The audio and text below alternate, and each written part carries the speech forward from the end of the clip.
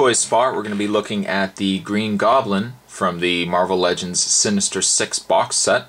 Um, up to the point that this set was released, this was the only way that you could get a Green Goblin of the Marvel Legends figure line. Um, the figure, the figure is good. It has some negative points, but I'll talk first about the the, the positives at least. Um, the figure, I would say, the first and foremost uh, good thing about the figure is the fact that is his build. It's not a regular Marvel Legends build. The arms and the legs are a little finer on the on the figure, and you kind of get that that nice lankiness that the Green Goblin is is more common to have. Like it, it's not it's not a, like he doesn't have broad legs. He doesn't have anything like that. He's very lanky, and and I think this figure shows it well. Um, the paint scheme isn't too bad. I mean, you get the nice green, you get the nice purple. Very nice, very nice overall. Um, he's got. I like. I like the. I like the belt. I, I, think they did a good job throwing that on there as well. Um, now, this is my one problem with the figure, and some might disagree, but my one, one problem with the figure is the fact that you can actually see his eyes. Some people like that it, it's more realistic than what you would normally see with the Green Goblin.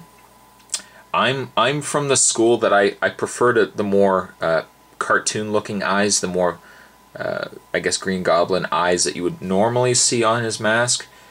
And uh, this is more reminiscent of the Spider-Man movie, I would suppose. I don't like the fact that you can see his eyes, but I mean, aside from that, the figure isn't bad. Uh, he's got his nice uh, hat going on here, and in the way of articulation, his head does rotate. Um, his head can bend, although it's really tight on this one. He has the shoulder articulation, which I think you can see on the back here, that this part actually can bend out. So you get a nice free range of movement from the character. He has articulation in his shoulders, in his arms, in his hands. Um, he has no articulation in the fingers, and there's a reason for that. I'll get into it in, in one second here. Uh, he has no torso articulation, but he does turn at the waist. articulation in the legs, the mid-thigh, the knee. Um, his foot does rotate as well as his toe does bend. I also would like to point out too, I really like his feet. Um, overall, the figure looks really, I mean, I would consider this to be the ideal Green Goblin body. And uh, just as a comparison here, because I know somebody will ask me here, I'll move this figure aside and I'll bring in the Marvel Legends.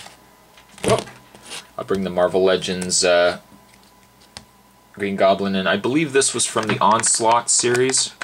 And uh, just to kind of give you guys a comparison of, of the two, if you ask me, this is the Green Goblin I prefer more, even though this kind of has a nicer body to it.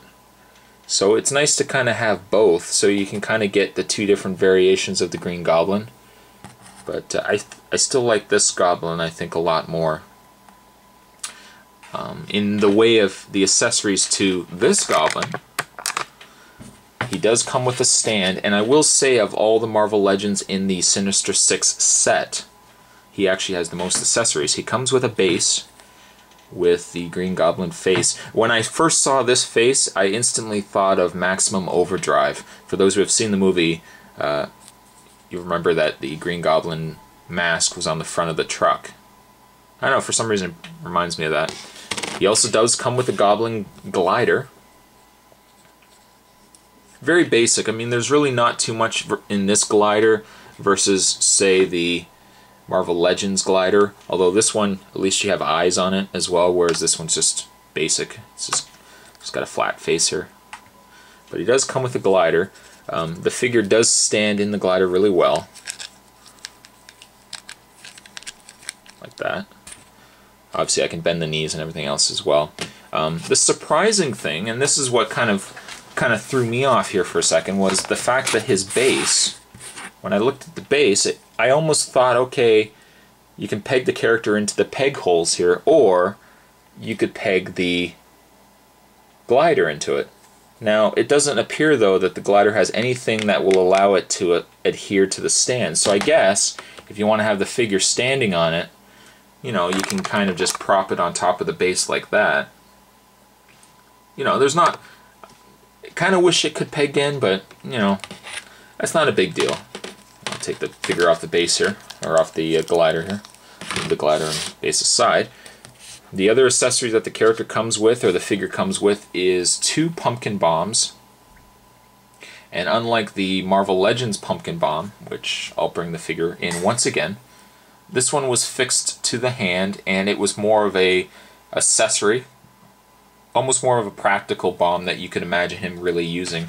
Whereas this one is more more cartoon, more com comic looking. It, it has the fire on the end. So um, the reason why his hands aren't articulated, which I was mentioning earlier, is the fact that his he can hold his pumpkin bombs, although not well, but he can actually hold them.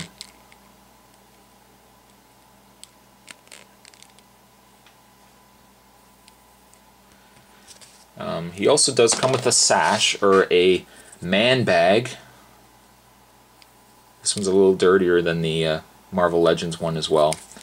For some reason the strap is really warped on this one.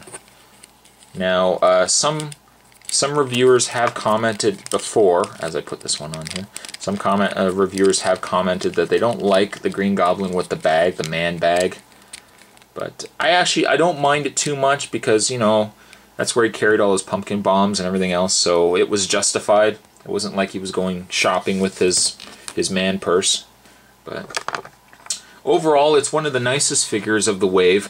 Um, if you are a fan of the more realistic Green Goblin, this is the one you want to go to buy instead of the Marvel Legends one. I still am on the on the page that I, I actually like this one a little bit better because it reminds me more of what Green Goblin should look like. But this figure is still nice. And the fact that you do get it in a box set with the other Spider-Man villains is definitely a plus with me. But there you have a toy spot on the Marvel Legends Sinister 6 Green Goblin. And with that, I'll see you guys next time.